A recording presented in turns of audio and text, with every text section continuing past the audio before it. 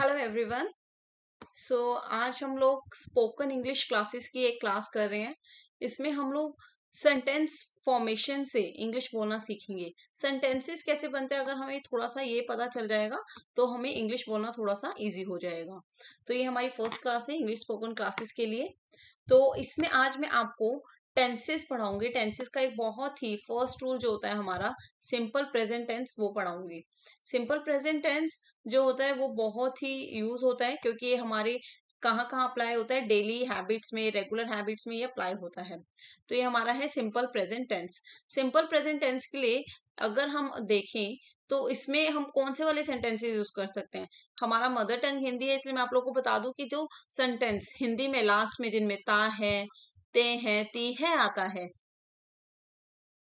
ते है और ती है, आता है, उन सेंटेंसेस में हम सिंपल प्रेजेंट इंडिफिनाइट टेंस अपना लगाते हैं। तो इसमें इसका बहुत ही सिंपल रूल है। अगर हमें सिंपल प्रेजेंट इंडिफिनाइट का सेंटेंस बनाना है तो हम कैसे बनाएँगे? उसके लिए हम एक रूल को अप्लाई करेंगे। रूल क्या है इसमें हमारा? फ़र्स्ट हम लोग यूज़ करेंगे सब्जेक्ट देन हम वर्ब की first form and then S या E S then object verb की फ़र्स्ट फॉर्म आप लोगों को पता है वर्ब क्या होता है? वर्ब हिंदी में क्रिया होती है, वो काम जो किया जा रहा है। सब्जेक्ट नाउन प्रोनाउन जो हमारा सेंटेंस जब स्टार्ट होता है, उसकी स्टार्टिंग में जो हम यूज़ करते हैं, वो हमारा सब्जेक्ट होता है कि कौन क्रिया कर रहा है, ठीक है? और ऑब्जेक्ट होता है हमारा कि किसकी हम बात कर रहे हैं रेस्ट ऑफ़ दी सेंटेंस अब हम इसका अगर एक एग्ज़ाम्पल देखें तो एग्ज़ाम्पल क्या है हमारा? आई टीच चिल्ड्रन मैं बच्चों को पढ़ाती हूँ। इसकी हिंदी क्या हो गई? मैं बच्चों को पढ़ाती हूँ। इसमें हमारा आई क्या है? आई है इसमें हमारा सब्जेक्ट क्या काम किया जा रहा है? टीच किया जा रहा है। टीच है हमारी वर्ब और चिल्ड्रन क्या है? किसको किया जा रहा है? बच्चों को पढ़ाया जा रहा है। तो ये हो गया हमारा ऑब्जेक्ट तो आई टीच चिल्ड्रन क्या है? सिंपल प्रेजेंट इंडिफिनाइट का सिंपल सेंटेंस है। सिंपल सेंटेंस मैंने इसलिए बोला क्योंकि इसमें हम नेगेटिव और इंटेरोगेटिव सेंटेंसेस भी पढ़ेंगे। जब हम इंटेरोगेटिव और नेगेटिव पढ़ेंगे तो इसका रूल चेंज हो जाएगा, सेंटेंस फॉर्मेशन चेंज हो जाएगा।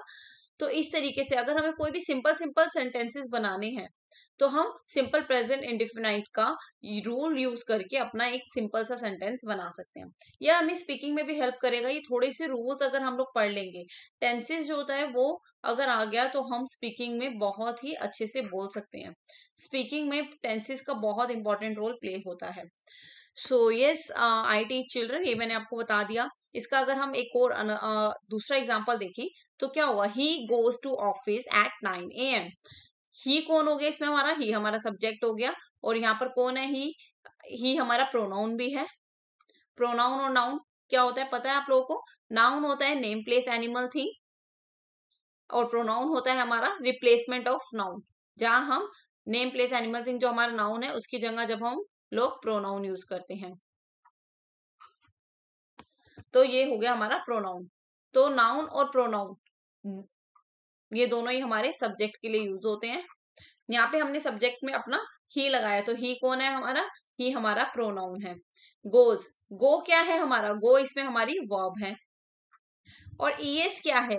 ईएस कहाँ से आई ये मैंने बताया आप लोग को, ये रहा हमारा सेंटेंस हमारे रूल में एस या हमें लगाना है वर्ब के साथ। तब हमने यहाँ पे ई एस लगा दिया। अभी मैं आप लोगों को बताऊँगी ये एस ई एस कहाँ लगता है। He goes to office at nine A M वो नौ बजे ऑफ़िस जाता है। तो आप लोग देख रहे हैं हमारी डेली हैबिट भी है रेगुलर हैबिट भी है। तो जहाँ हमारी डेली हैबिट्स होती हैं रेगुलर हैबिट्स होती हैं, वहाँ हम सिंपल प्रेजेंट टेंस का यूज़ करते हैं। अब देखो, मैंने आपको बताया सब्जेक्ट क्या होता है वर्ब क्या होता है ऑब्जेक्ट क्या होता है। अब हम देखेंगे एस या ई एस का कहाँ यूज़ होता है। तो पहले एक छोटा सा रूल तो ये देख लो। कि ई एस जो है, वो हमारे वॉल्स के साथ लगता है। हमारे जितने भी वॉल्स हैं, जैसे ए ई आई ओ यू ये हमारे वॉल्स हैं। इनमें जब हमारे पूरे वर्ड में लास्ट में जो आता है, उसके साथ हमारा ई एस लगता है। और एस जो है, वो हमारा कॉन्सोनेंट्स के साथ लगता है। ये एग्जाम्पल्स के साथ देखें तो ईट ईट में टी क्या है? हमारा कॉन्सोनेंट है तो यहाँ पे हमारा क्या हो जाएगा? ईट्स एस लग जाएगा। और अगर हम वही देखें गो तो गो में ओ क्या है? हमारा वॉल है तो इसमें हमारा क्या आ जाएगा? गोज। ई एस हम लोग लगा देंगे। और चलो, हमें ये तो पता चल गया, ऐसे ई एस लगना है, लेकिन आप लोगों को क्या ये पता है कि ऐसे ई एस किस सेंटेंसेस में लगना है? देखिए, अब हमने यानी यहाँ तो नहीं लगाया कुछ भी। आई टी चिल्ड्रन में ना एस लगाया, ना ई एस लगाया, लेकिन मैंने ही वाले में लगाया। तो जब हमारी सब्जेक्ट हमारा नाउन प्रोनाउन जो है, वो सिंग प्लूरल होता है, तब हम कुछ भी नहीं लगाते। लेकिन जब अगर वो ही हमारा नाउन प्रोनाउन हमारा सब्जेक्ट जो है, वो अगर सिंगुलर होगा, तब हम एस या ई एस का यूज़ करेंगे। आई और यू भी हमारे प्लूरल में आते हैं, आप लोगों को पता ही होगा एक्सेप्शनल केस है। बाकी यू वी दी दे ये सारे हमारे प्लूरल्स हैं। तो आई टीच चिल्ड्रन इसलिए मैंने यहाँ एस एस नहीं लगाया है और यहाँ मैंने एस आई एस लगाया क्योंकि हमारा ही जो है वो क्या है? ये हमारा सिंगुलर है। आई रियली होप आप लोगों को इतना समझ आया होगा। ये सिंपल प्रेजेंट टेंस में एक ही रूल था, लेकिन इसमें मैंने बहुत सी छोटी छोटी चीज़ें जो है वो आप लोगों को बताई हैं। नेक्स्ट अब हम देखेंगे अपना, इसी को अगर हम नेगेटिव सेंटेंस में चेंज करना चाहें तो कैसे बनेगा? नेगेटिव सेंटेंस में हमारा रूल चेंज हो जाएगा subject plus not plus verb की फ़र्स्ट फॉर्म प्लस ऑब्जेक्ट अब देखो, अगर हम सीधा ये सेंटेंस बना दें, पहली चीज़ों को अगर हम लोग समझेंगे कि कैसे बनी है तो हमें और भी हेल्पफुल रहेगा, हमें हर चीज़ को लर्न नहीं करना पड़ेगा, चीज़ों को समझना भी है। देखो, अगर मैं ये लिखूं आई नॉट टीच चिल्ड्रन तो क्या ये कुछ बन रहा है? नहीं, ऐसे नहीं बना है सेंटेंस अब क्योंकि हमें यहाँ पे नॉट का यूज़ करना है कि मैं बच्चों को नहीं पढ़ाती हूँ। हमारा सिंपल में क्या था? आई टीच चिल्ड्रन मैं बच्चों को पढ़ाती हूँ। और अगर ये है कि हम, मैं बच्चों को नहीं पढ़ाती हूँ आई नॉट टीच चिल्ड्रन नहीं होगा। यहाँ पे अब हमें किसकी ज़रूरत पड़ेगी? एक हेल्पिंग वर्ब की। और हेल्पिंग वर्ब क्या है हमारी? डू या डज तो यहाँ हम डू या डज लगाएँगे, उसके बाद अपना सेंटेंस जो है वो फॉर्मेट करेंगे। अब हमारा ये सेंटेंस क्या बनेगा? I do not teach children मैं बच्चों को नहीं पढ़ाती हूँ।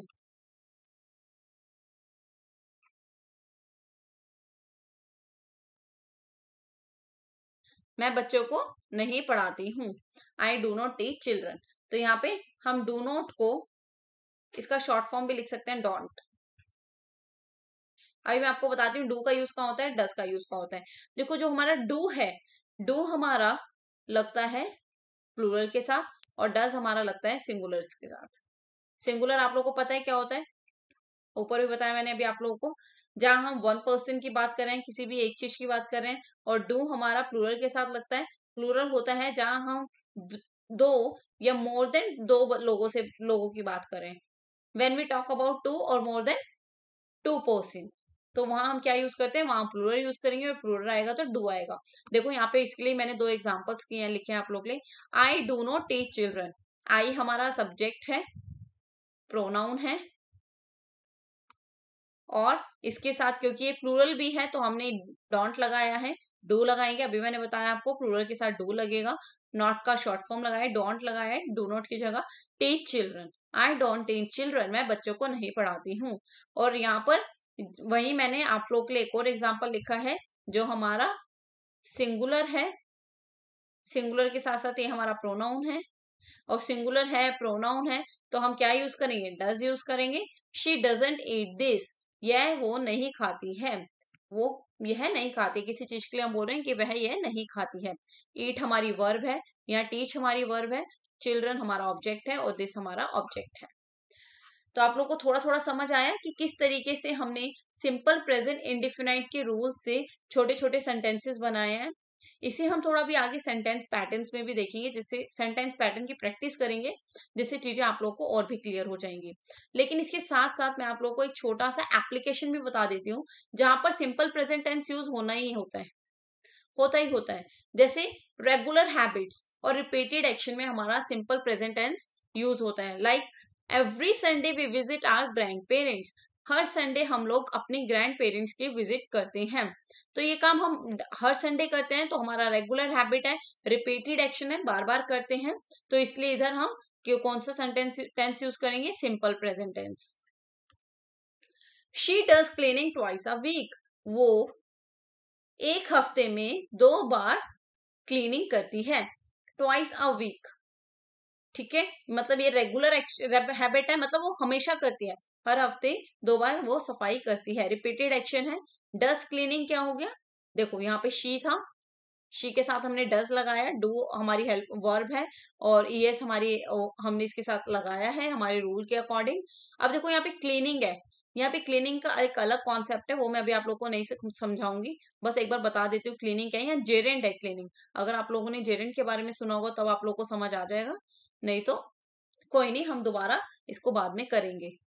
Every Sunday we visit our grandparents अब देखो यहाँ वी के साथ मैंने ऐसे ई एस नहीं लगाया है वर्ब के साथ, क्योंकि वी क्या है, हमारा प्लूरल है, और यहाँ पे मैंने अभी आप लोगों को बताया कि जहाँ हमारा प्लूरल होगा, वहाँ हम एस ई एस का यूज़ नहीं करेंगे, लेकिन जहाँ सिंगुलर है, वहाँ एस ई एस का यूज़ करेंगे। और मैंने ये भी बताया और एस और एस कहाँ लगता है? नेक्स्ट जनरल फैक्ट्स और यूनिवर्सल ट्रूथ के साथ भी हमारा प्रेजेंट इंडिफिनाइट टेंस लगता है। A dog has four legs इसमें कोई वही नहीं, एक डॉग की चार एक कुत्ते की चार टांगे हैं। तो ये क्या है? ये बिल्कुल एक यूनिवर्सल ट्रूथ है जनरल फैक्ट है। The sun rises in the east sun जो है, वो कहाँ राइज होता है? ईस्ट में होता है। देखो सन के साथ ई एस लगा है। The star shine at night stars कहाँ शाइन होते हैं? वो हमारे नाइट में चमकते हैं, हमारे जो तारे हैं। तो ये भी एक जनरल फैक्ट है यूनिवर्सल ट्रूथ है। Time passes very quickly when we are busy जब हम लोग बिज़ी होते हैं, तब हमारा टाइम बहुत जल्दी पास हो जाता है। तो ये सारे क्या है? जनरल फैक्ट्स हैं। तो जनरल फैक्ट्स और यूनिवर्सल ट्रूथ्स के साथ भी क्या लगेगा? सिंपल प्रेजेंट टेंस नेक्स्ट है हमारा, अगर हमें किसी को इंस्ट्रक्शन देनी है डायरेक्शन देनी है रिक्वेस्ट करनी है कमांड्स करनी है इनवाइट करना है या एडवाइस देनी है तो इन सब सिचुएशंस में भी हमारा प्रेजेंट इंडिफिनाइट टेंस लगता है। Be there at five P M आप यहाँ पर होना पाँच बजे। तो ये हमने किसी को इंस्ट्रक्ट किया डायरेक्ट किया है, ठीक है? Come out with us tonight आज हमारे साथ बाहर चलो। हमने किसी को इनवाइट किया है please join us for dinner हमने किसी को बोला है कि डिनर के लिए इनवाइट किया है क्लीन योर रूम और यहाँ हमने किसी को एडवाइस दी है। तो यहाँ पर क्या होगा इन सारे केसेस में हमारा क्या लगेगा? सिंपल प्रेजेंट इंडिफिनाइट तो ये था हमारा सिंपल प्रेजेंट इंडिफिनाइट के मैंने आज आपको दो रूल्स बताए हैं, बहुत ही सिंपल, एक सिंपल सेंटेंस का, एक नेगेटिव सेंटेंस का। इसके साथ साथ इंटेरोगेटिव और इंटेरोगेटिव प्लस नेगेटिव भी होता है, बट उसको हम बाद में करेंगे अभी के लिए इतना ही इस वीडियो में। और साथ साथ मैंने आपको थोड़ा एप्लीकेशन भी बताई है सिंपल प्रेजेंट टेंस की। आई होप ये इतना क्लियर हो। अगर कुछ भी होगा तो हम आगे डिस्कस कर लेंगे। Thank you.